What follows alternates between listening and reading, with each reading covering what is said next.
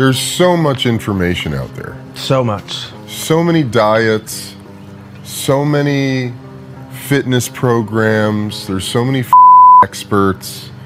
Everyone claims that their way is the only way.